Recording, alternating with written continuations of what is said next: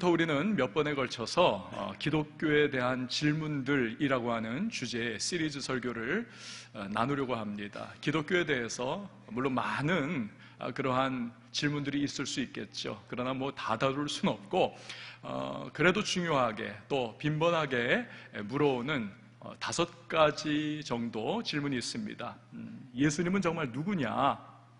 그거 묻잖아요. 어, 교회 안 다니시는 분들도 예수, 예수, 예수, 예수 많이 듣습니다. 그러나 그분이 정말 어떤 분이시냐. 그리고 교회라는 곳은 도대체 어떤 곳이냐. 그리고 그 교회 가운데에서 이제 어, 우리가 함께 공부하고 따라 살아가고 있는 이 성경 말씀은 도대체 어떤 것이냐 이것도 다룰 겁니다. 그리고 어, 우리의 믿음이라고 하는 것은 과연 뭐냐 어, 그리고 마지막으로 이 회중이죠. 우리 성도는 과연 어떤 존재들이냐라고 하는 부분을 우리가 함께 다섯 번에 걸쳐서 나누려고 합니다. 저는 이 말씀을 준비를 하면서 이미 신앙을 가지고 있는 분들께서는 그 신앙이 더 공고하게 세워지고 어, 방문하신 분들에게는 그 신앙의 새로운 발걸음, 여정을 시작할 수 있는 그러한 은혜가 있기를 기도하는 마음으로 이 말씀을 어, 준비하고 있습니다. 오늘 첫 번째로 예수는 과연 누구시냐 살펴보도록 하겠습니다. 우리 연세 드신 분들께서 주로 하는 말씀이 있습니다. 내 이야기를 책으로 쓰면 소설책 두꺼운 거 하나 나올 거야. 맞는 말입니다. 참 구구절절 내용들이 많죠. 인생이 그렇습니다. 하물며 어, 여러분 예수님이십니다. 그분의 인생, 그분이 또 누구시냐, 어떤 일 하셨냐, 그거 다루려면 뭐 1년 계속 52주 설교에도 어, 부족합니다.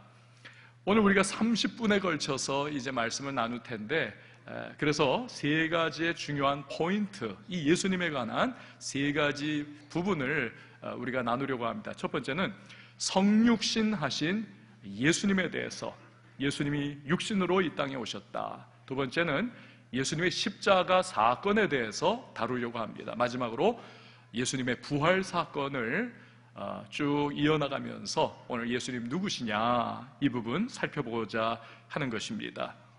우리가 예수님이 누구냐에 관해서 어, 함께 이야기를 할 때 가장 먼저 그분은 하나님의 아들이시다라고 하는 사실을 놓쳐서는 안 되는 것입니다. 예수님은 하나님의 아들이시다. 이 말은 예수님은 하나님이시다라는 것입니다. 사람의 아들은 사람인 것이지요. 하나님의 아들 예수님은 하나님이신 것입니다. 세상의 모든 다른 종교를 가만히 보십시오. 그 창시자가 사람입니다. 예를 들어서 마호메트, 이슬람교의 창시자입니다. 붓다, 불교의 창시자가 아닙니까? 그러나 오직 유일하게 기독교는 하나님으로부터 그 기원을 두고 있는 것입니다. 예수님으로부터 기독교는 시작하는 것입니다. 이게 왜 특별하고 이게 왜 중요하냐? 다른 종교는 모두 다 사람들이 신을 향해서 나아가고 자기의 구원과 영생을 향해서 나아가는 것입니다. 그러나 유일하게 기독교는 하나님께서 인간을 향해 찾아오시고 인간에게 구원과 영생을 주시기 위하여 내려오시고 찾아 오시는 것. 이것이 특별한 차이인 것입니다. 불교계 큰 스님이던 성철 스님 계십니다. 이분은 평생을 돌을 닦고 참선을 하고 깨달음을 얻기 위해서 굉장히 노력하신 분이십니다. 큰 스님이다. 불교계에서는 그렇게 이야기를 할 정도지요. 평생을 깨달은 바를 설법하신 분이십니다. 그리고 깨닫기 위해서 참 금욕하시면서 오죽 깨달음을 얻기 원하시면 수년 동안을 우리처럼 누워서 주무시지 않고 이 상상이 안 돼요. 가부좌 틀고 앉아서 그리고 앉아서 주무시면서 돌을 닦던 분이십니다. 이러한 성철 스님께서 세상을 떠나시면서 이런 이야기 하셨습니다. 나는 지옥에 떨어진다. 왜냐하면 나는 지금까지 수많은 중생 남녀들을 속여왔기 때문이다. 한계 있는 인간으로서 돌을 닦고 구원과 열반과 영생을 그 깨달음의 극치를 얻기 위해서 몸부림을 쳤습니다. 그러나 안타깝게도 도달하지 못했다는 거지요.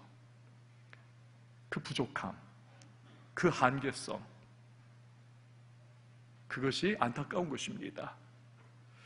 세상 그 어떤 종교를 믿는 사람에게도 여러분 한번 물어보십시오. 10중 8구, 아니 100%입니다. 당신 구원의 확신이 있습니까? 영생의 확신이 있습니까? 물으면 아니요, 없습니다. 어떤 분은 이렇게 대답할 거예요. 죽어봐야 알지요. 정직한 대답입니다. 그러나 기독교는 그와 다릅니다. 당신 구원의 확신이 있습니까? 당신 영생을 소유하고 계십니까? 확신하십니까? 그러면 기독교에는 대답합니다. 저는 이미 지금 구원을 얻은 사람입니다. 저는 지금 영생을 소유한 사람입니다. 저는 확신합니다. 여러분, 왜 그렇습니까? 다른 종교들 인간이 찾아가려고 하지만 안 돼요. 그러나 우리 기독교 하나님께서 신적인 계시로 우리에게 영생과 구원의 길을 이미 알려 주셨기 때문에 우리는 확신할 수 있고 내가 구원받았다. 내가 영생을 소유했다.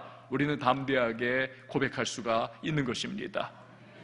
그 길을 알려주려고 하나님의 아들인 예수님께서 이 세상에 오신 것입니다. 오늘 우리가 읽었던 성경인 요한복음 10장 10절에서 예수님이 그것을 우리에게 말씀을 하신 것입니다.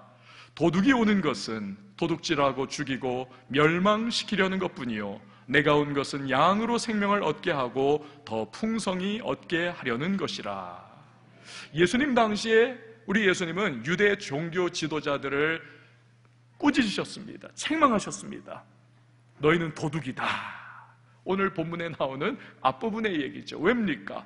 그들은 자기들도 알지 못하는 잘못된 교리를 가지고 사람들을 왜곡하며 가르쳤습니다.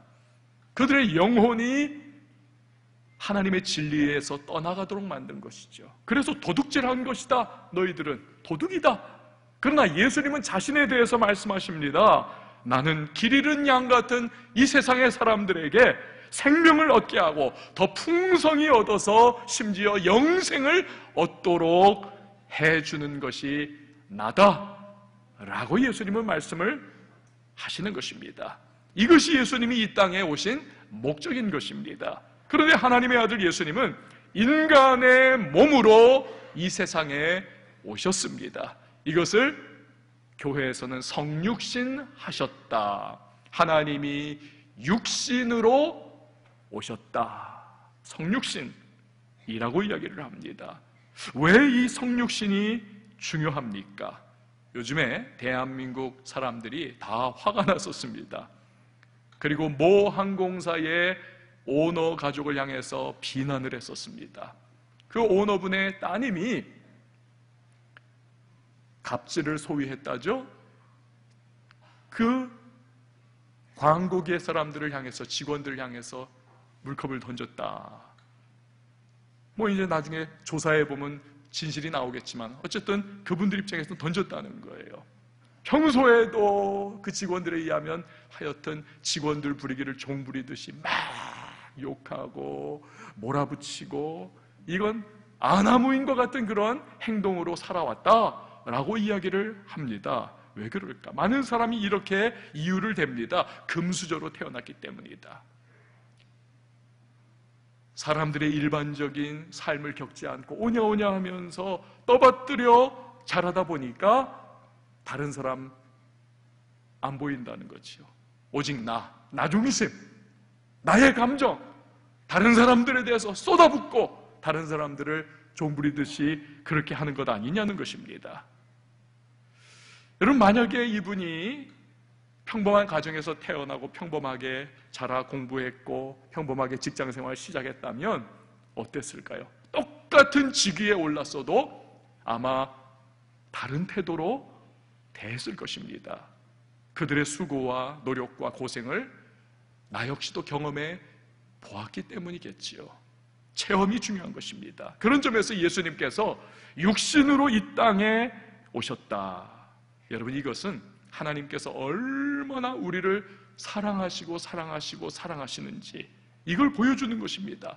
딱 나타나기만 하면 다들 그냥 안 들을래 안 들을 수 없는 천사로 나타나시든지 휘황찬란한 왕의 모습으로 나타나신다면 그 앞에 다 무릎을 꿇겠죠. 그러나 그렇게 오시지 않았습니다. 대신 어린 아기의 모습으로 예수님 오셨습니다. 장성하기까지 사람이 성장하며 겪는 모든 과정을 다 예수님 밟으셨습니다. 그리고 가난한 집안에서 그 가족을 부양하기 위하여 먹여 살기 위하여 거친 밥을 드시고 거친 목소에 그 몫으로서의 노동을 하시면서 우리 예수님 서른 살까지 그렇게 살아 오신 분이십니다. 사람들의 조롱과 비난도 받아보셨고 심지어 사랑하는 제자들의 배신에 아파하시는 그러한 마음도 우리 예수님 겪으셨습니다. 성경 히브리서 4장 15절은 이런 예수님에 대해서 말씀을 하고 계세요. 우리에게 있는 대제사장은 예수님입니다. 우리의 연약함을 채율하지 아니하는 자가 아니요 모든 일에 우리와 한결같이 시험을 받은 자로 돼 죄는 없으시니라. 우리들 보통 사람들이 겪는 모든 아픔과 눈물과 고통 다 겪어봐 주셨기 때문에 예수님은 우리 한 사람 한 사람의 마음을 하시고 우리의 생각을 하시고 우리의 슬픔과 눈물과 한숨과 우리의 괴로움 다 아신다는 거예요. 그래서 우리가 힘들고 어려울 때에 우리를 체휼, 즉, 불쌍히 여기시는 예수님이시라는 것입니다. 여러분, 세상의 그 어떤 신이라 불리우는 자가 예수님처럼 인간을 위해서 찾아와 주시고 특별히 불쌍히 여겨 주시는 분이 어디 있습니까? 이게 예수님의 성육신이 특별한 점입니다. 이 독수리를 잡아가지고 세 장에 탁 넣습니다. 고기를 끼니마다 넣어주고 신선한 물과 신선한 사료를 잘 넣어줘도 이 독수리는 세장 안에서 2주일 이상을 버티질 못한답니다. 죽어버린다는 겁니다. 날개를 펴면 2미터예요. 그 큰 날개로 창공을 날아다니면서 자유로움을 만끽하는 것이 독수리의 본능이요. 이것이 조류의 왕인 독수리의 삶인데 그 자유가 박탈당하니 죽어버린다는 겁니다. 괴로워 못 견딘다는 거예요. 여러분 한낱 미물도 그렇다면 하늘 보좌를 버리시고 왕중왕이신 우리 하나님이신 예수님께서 사람의 몸으로 이 땅에 오셨습니다. 이게 얼마나 예수님께 큰 고통이겠습니까? 그 스스로 전능하심과 그의 능력과 그의 영광과 그의 자유를 스스로 제한을 해버리신 것입니다. 그러나 예수님은 오늘 읽은 말씀처럼 양으로 생명을 얻게 하되 더 풍성히 얻기 하기 위해서 우리 예수님께서는 가장 큰 고통을 감내하기까지 하셨는데 그것이 뭐냐 하면 바로 십자가 사건입니다. 우리가 십자가 사건을 이해하기 위해서 먼저 우리는 인간이 어떠한 존재인가를 알아야 합니다. 성경은 인간을 일컬어서 죄인이다. 여러분 저를 한번 따라해 주시기 바랍니다. 사람은 모두 죄인이다. 로마서 3장 10절 말씀을 보십시오. 같이 읽어봅니다. 시작. 기록된 바 의인은 없나니 하나도 없으며 아멘. 모두가 죄인이라는 것입니다.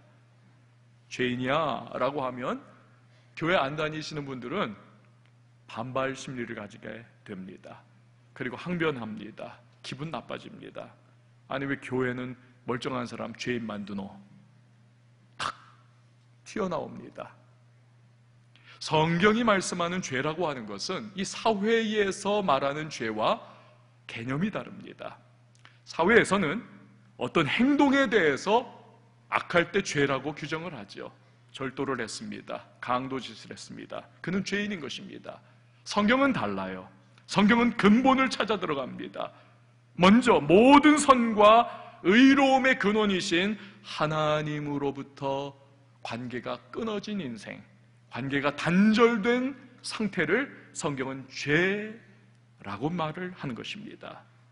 행동으로 나쁜 일을 하는 것은 그 죄의 당연한 결과인 것이지요. 예를 들어서 어항이 있습니다. 그 안에 물고기가 있어요. 그런데 산소 공급기가 연결이 되어 있습니다. 어느 순간 그 튜브가 산소 공급기가 딱 빠져버렸습니다. 관계가 끊어져 버렸어요. 무슨 일이 생깁니까? 물이 오염되기 시작합니다. 그리고 죽어버리는 것이죠. 바로 그겁니다. 여러분, 이 세상 돌아가는 것을 보십시오. 인류 역사상 과학 문명이 지금보다 더 발전했던 적은 유사일에 없습니다. 지금보다 풍요로운 시대 없습니다. 먹을 것, 입을 것 넘쳐납니다. 초등학교, 중학교, 고등학교, 대학교 배우는 지식을 보십시오. 수천 년에 걸친 지식의 압축 요약입니다. 결정체를 배우고 있습니다. 그 어마어마한 지식과 그 풍요로움과 그 과학 문명입니다. 더 잘 살고 평화롭게 되었나요? 아닙니다. 더 아둥바둥하고 더 우울증이 사람들을 휘어잡고 전쟁이 발발하고 더 갈등과 더 압박과 불평등과 빈곤이 이 세상에 넘쳐나고 있습니다. 이만큼 잘 살게 되고 이만큼 좋은 지식을 가지고 있고 이만큼 과학 문명이 발전했으면 그거 이미 다 해결되었어야만 될 상황인데 안 된다는 것입니다. 더 심화한다는 것입니다. 왜 그렇습니까? 근원이 되시는 하나님과 관계가 끊어졌기 때문에 그렇습니다. 사랑의 하나님, 모든 선과 의로움의 근원이신 하나님을 떠나서는 그 어떤 인간의 노력과 그 어떤 몸부림도 해답이 될 수 없다는 것입니다. 더 큰 문제는 하나님은 하나님과의 관계가 끊어지고 죄된 삶을 사는 인간에게 너는 반드시 죽으리라 심판을 선언하셨다는 점입니다. 그래서 세상에 죽음이 찾아오는 것이죠. 아무도 피할 수 없습니다. 이건 마치 꽃꽂이와 같습니다. 화무시비롱. 아무리 붉게 화려하게 핀 꽃도 꽃꽂이에 딱 뿌리를 잘라가지고 줄기를 딱 놓아보십시오. 열흘, 아니 열흘도 못 가요. 일주일이면 고개가 꺾여버리고 바짝 말라 죽어버립니다. 이처럼 생명의 근원이신 하나님과 관계가 끊어지면 제 아무리 멋지고 제 아무리 화려한 인생이라도 죽음이 찾아오는 것입니다. 그래서 인생은 생로병사를 피해갈 수 아무도 없는 것입니다. 그러나 성경이 말씀하는 것은 육체의 죽음만이 아닙니다. 그건 첫 번째 죽음이고 더 심각한 두 번째의 죽음이 있습니다. 하나님과 관계가 끊어진 사람의 영혼이 저주를 받아서 지옥의 불못에서 영원한 형벌을 당할 수밖에 없다는 것입니다. 이건 여러분 가상현실에서나 그냥 상상 속에서나 있는 일일까요? 아니에요. 성경이 말씀하는 바입니다. 히브리서 9장 27절 말씀 보면 한 번 죽는 것은 사람에게 정해진 것이요. 이것은 우리의 인생에서 숨이 끊어지는 그것입니다. 그러나 그 이후에 두 번째 죽음이 있는데 그 후에는 심판이 있으리니 영원한 죽음, 우리의 육체의 영원한 형벌을 의미하는 것입니다. 여러분 사람은요 참 신기합니다. 이 영혼을 가지고 있는 존재이기 때문에 은연중에 그것을 느껴요. 그래서 가만 보십시오. 누군가가 돌아가셨습니다. 그때 우리는 아무개가 뭐라고 말합니까? 사망했어. 한자를 가만히 보세요. 죽어서 망했다. 죽어서 끝나버린 게 아니라는 것입니다. 죽어서 둘째 사망, 영원한 지옥의 형벌로 멸망의 구덩텅이에 떨어진다는 것입니다. 예수 안 믿어도 불신자여도 교회 한 번 안 나가봐도 이 영혼을 가지고 있기 때문에 어렴풋이 어렴풋이 그림자를 붙잡는 것처럼 우리는 아는 겁니다. 사망.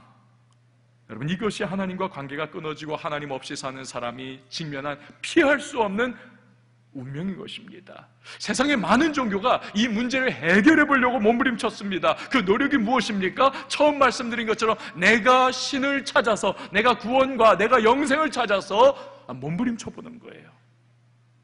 결과는 안 되더라는 것입니다. 그러나 하나님의 사랑은 멸망해가는 우리를 그냥 내버려 둘 수가 결코 없으셨습니다. 그 아들 예수를 이 땅에 보내주신 것입니다.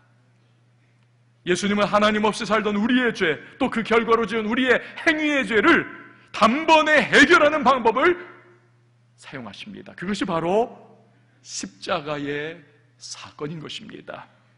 우리가 받아야 할 죄의 모든 형벌을 예수님께서 십자가에서 다 당하신 것입니다.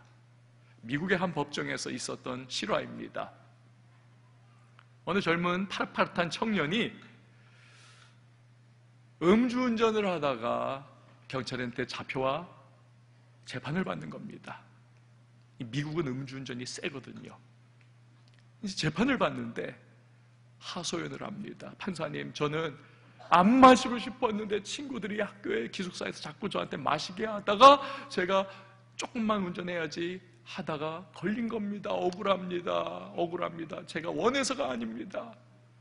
아무리 하소연을 해도 이 판사가 형량 그대로 200불을 벌금형 때려버렸습니다. 이 미국에서 200불은요, 여러분 이거 우리 20만 원하고 이 느낌이 달라요.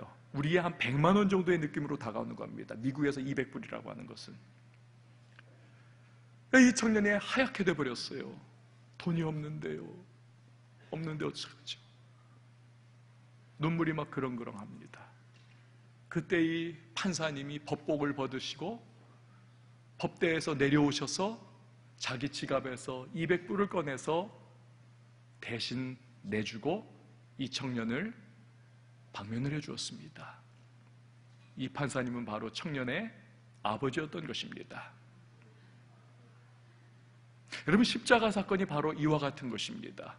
하나님께서 저주하시고 죄의 대가로 영원한 형벌을 심판으로 내리셨습니다.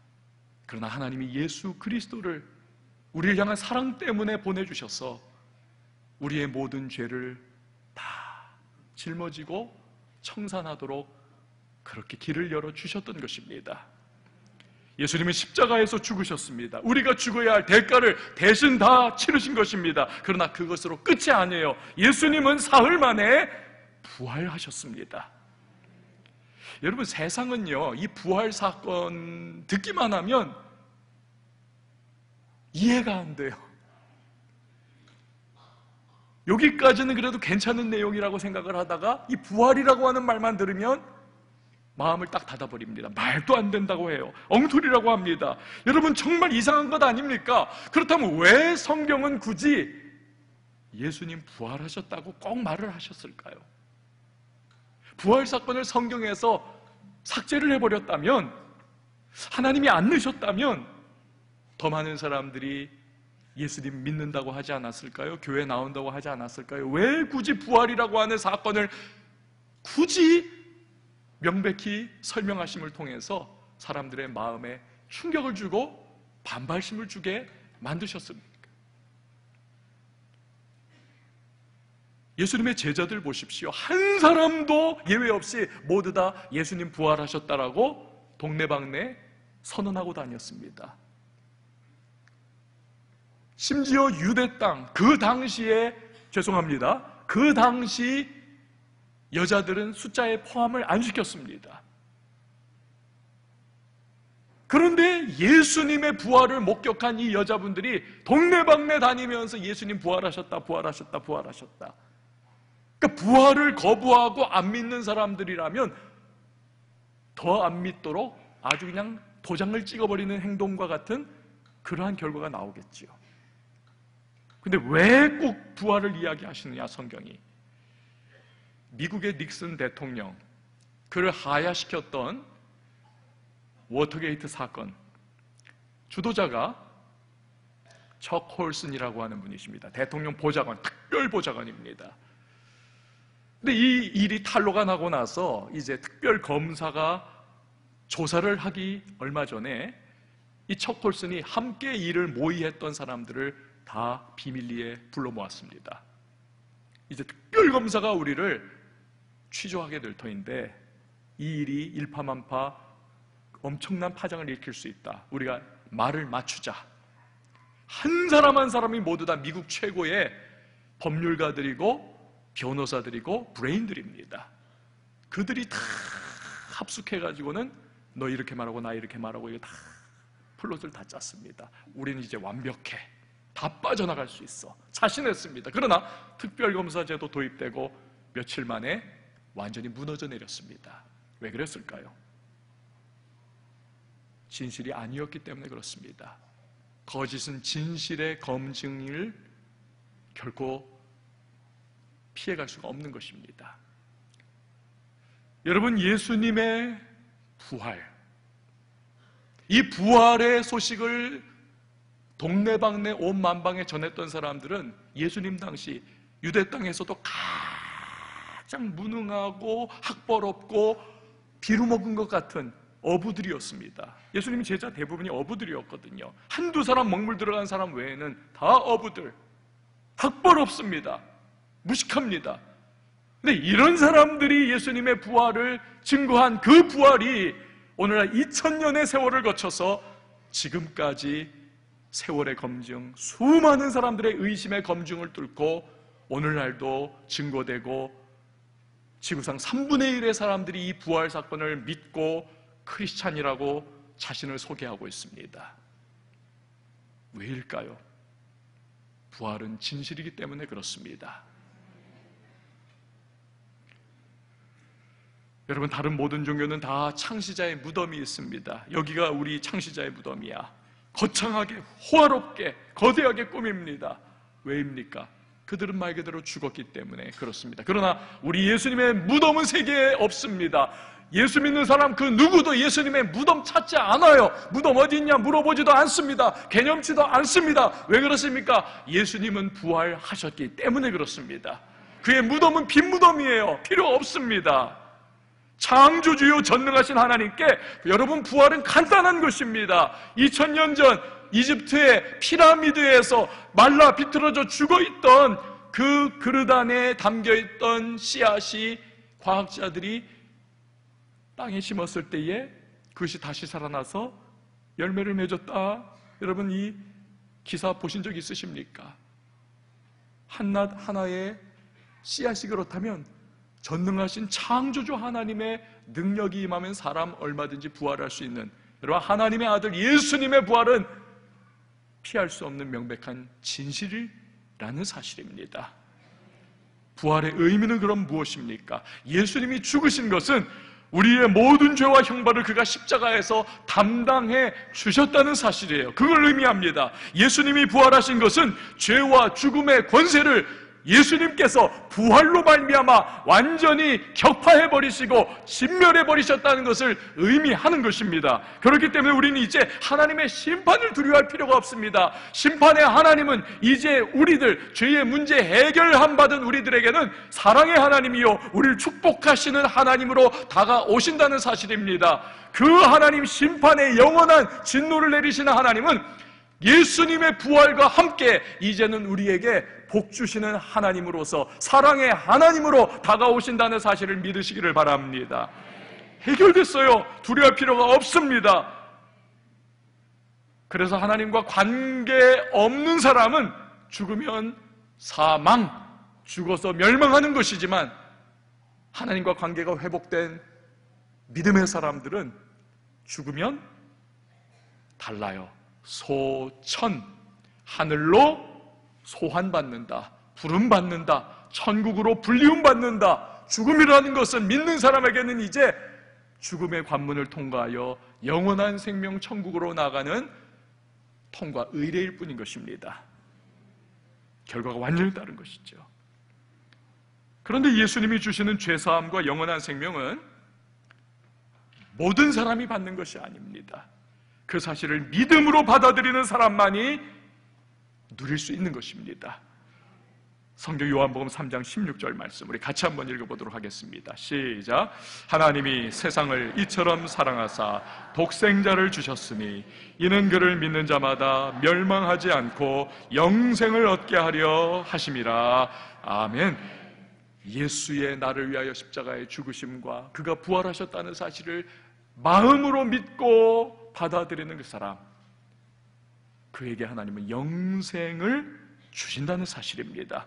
여러분, 다른 모든 종교는 신을 만나고 영생을 얻기 위해서는 이걸 해야 된다, 저걸 해야 된다, 고행을 해야 된다, 착한 일, 선한 일로 너가 나아가지 않으면 안 된다, 행위의 구원을 이야기를 합니다. 여러분, 그러나 그게 뭐와 같으냐? 예전에 전 지금도 똑똑히 기억해요. 흑백 TV로 보았던 영상. 아시아의 물개라고 하는 조련 선수가 대한해협을 헤엄쳐가지고 수영으로 횡단을 했습니다. 막 우리나라 국민들이 열광을 했던 그러한 기억이 있습니다. 그러나 아시아의 물개인 대한해협을 그 포기만 얼마 안 되니까 건넜던 조련 선수를 할지라도 태평양을 건너갈 수는 없습니다. 그건 불가능합니다. 여러분 마찬가지로 수련과 선행 많이 하면 인격은 좋아질 거예요. 성품은 너그러워질 겁니다. 그러나 그것이 우리를 구원하고 우리에게 영생을 가져다 줄 수 있는 것은 아닙니다. 불가능해. 왜? 죄 문제, 이 하나님과의 관계를 단절시켰던 죄 문제가 여전히 해결되지 않았기 때문에 죄의 바다를 건널 수 없기 때문에 그러나 수영의 숫자는 몰라도 우리 태평양을 얼마든지 건널 수 있습니다. 부모님이 건네주는 비행기표 그거 있으면 여러분 비행기 타면 11시간이면 태평양 건너 미국 땅입니다. 우리가 돈 낼 필요 없어요. 부모님이 이미 내주신 겁니다. 마찬가지로 예수 그리스도께서 십자가에서 날 위하여 이미 죄의 형벌 대가를 치러 주시고 그가 죽으시고 그가 부활하심으로 말미암아 나의 모든 죄를 도말하셨다라고 하는 사실을 내가 믿고 믿음으로 받아들이면 그분의 죽으심의 효과가 내 삶에 적용이 되는 것입니다. 그분의 죄와 사망을 깨뜨리신 부활의 생명력이 내 삶에 그대로 적용되어 들어오는 것입니다. 이런 일을 이루신 분이 바로 예수님이십니다. 그리고 그는 믿음으로 십자가와 부활 사건을 받아들이는 사람과 영원히 함께 하시겠다라고 우리에게 약속의 말씀을 주셨습니다. 마태복음 28장 20절을 보니까 볼지어다 내가 세상 끝날까지 너희와 항상 함께 있으리라 하시니라. 이 약속은 예수님이 우리를 끝까지 보호해 주신다는 약속입니다. 이 약속은 우리를 지켜 주신다는 약속이고 이 약속은 우리를 책임지시고 공급해 주신다라고 하는 엄연한 주님의 진리의 말씀이 되는 것입니다. 여러분 저는요 상상할 수 없어요. 이런 예수님을 내가 만나지 못했다면 나 어떻게 살았을까? 저는 자신 있게 말할 수 있습니다. 제가 누릴 수 있었고 또 누리고 있고 앞으로도 누릴 최고의 축복 가장 감사할 것은 이런 예수님을 내가 믿고 있다라고 하는 사실입니다. 이것이 저의 인생의 모든 것을 바꿔놓았던 것입니다. 오늘 이 자리에서 이미 예수 믿고 신앙생활하고 있는 우리 왕성의 성도님들 역시도 저와 똑같은 고백을 반드시 할 수 있음을 믿습니다. 여러분 오늘 이 자리에 처음 방문하신 방문자 여러분, 태신자 여러분, 그리고 오랫동안 교회를 떠나갔다 이리저리 영적인 혼돈을 경험하다 다시 오늘 초청받아 교회에 나오신 누군가 여러분 모두에게 이런 좋으신 예수님이 필요하지 않습니까? 그분의 죄사함, 그분의 부활이 주는 영원한 생명, 내 인생을 책임져 주시고 보호해 주시고 공급해 주시는 함께 해 주시는 예수님의 사랑과 은혜 이것이 우리에게 필요하지 않습니까? 그렇다면 이 시간 저와 함께 예수님을 우리의 마음에 모셔드리는 기도를 함께 하지 않겠습니까? 이 시간 우리 잠깐 동안 고개 숙여 함께 기도할 때에 오늘 이 자리에 우리의 태신자분들, 방문자분들이 계십니다. 예수님은 성육신, 우리를 사랑하시기 때문에 우리의 모든 아픔과 고민과 무거운 인생의 어깨에 짊어진 짐, 그 무게를 아시는 그 주님이 되시기 위해서 육신을 입고 이 땅에 오셨습니다. 그래서 우리를 이해하십니다. 너 힘들구나. 너 고통이 많구나. 너 답답하구나. 그분이 예수님이세요. 그분은 우리의 치료자가 되어 주시고 위로자가 되어 주십니다. 그분은 무엇보다도 그러나 우리의 죄 문제를 해결해 주시는 바로 그런 분이십니다. 십자가에서 자기의 몸 찢고 피 흘리시면서 우리의 억만 죄악을 대신 책임져 주셨습니다. 다 갚아 주셨습니다. 우리가 받아야 될 형벌과 우리의 영원한 저주와 멸망을 예수님이 받아 죽어 주셨고 그는 사흘 만에 부활하심으로 우리로 하여금 예수님의 부활 때문에 나에게 영원한 생명이 주어진다는 사실을 우리에게 증명해 주셨습니다. 이런 좋으신 예수님 필요하지 않습니까? 오늘 진실한 마음으로 오늘 전해드린 말씀에 믿음으로 내가 함께 해보기를 원합니다라고 하시는 분은 제가 하는 기도를 마음으로도 괜찮고요. 작은 목소리로 여러분 혼자만 들을 수 있는 정도로도 괜찮습니다. 생각으로도 괜찮습니다. 따라 하시면 됩니다. 아울러 우리 기존의 성도님들께서는 그분들에게 용기를 또 격려를 드리기 위해서 함께 저를 따라 기도해 주시면 좋겠습니다. 하나님, 저를 위해 예수님 보내주셔서 감사합니다. 예수님께서 십자가와 부활로 죄와 저주를 해결하셨습니다. 그 사실을 믿음으로 받습니다. 예수님 오신 것이 나 때문임을 믿음으로 받습니다. 예수님이 구세주이심을 믿음으로 고백합니다. 하나님이 아버지이심을 믿음으로 고백합니다. 나를 위해 예비하신 풍성한 은혜를 베풀어 주십시오. 감사합니다. 제가 기도하겠습니다. 하나님 아버지, 오늘 태신자 초청주의를 맞이하여 우리 많은 분들 새롭게 이곳에 방문하셨습니다. 사랑하는 일가친지의 손을 잡고 또 오랜 도전을 받고 또한 마음에 힘들고 어려움이 있어서 마침 초청하기에 이러한 여러 가지 경로를 통하여 이곳에 오셨습니다. 하나님 이 자리에서 오늘 마음으로 이 기도를 정말 따라하신 분이라면 그 순간 하나님의 놀라운 생명의 역사가 그 마음에 임한 줄 믿습니다. 하나님의 자녀의 길이 열린 줄 믿습니다.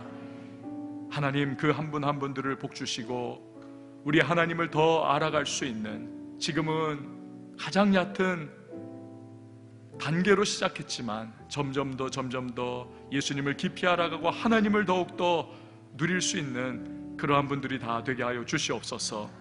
하나님 인생의 방황은 예수님 만나면 끝나고 신앙생활의 방황은 좋은 교회 만나면 끝난다는 말과 같이 오늘 이곳에서 예수님 만나고 또 신앙생활의 방황도 끝나는 귀한 역사가 있게 하여 주시옵소서 예수님의 이름으로 기도하옵나이다. 아멘.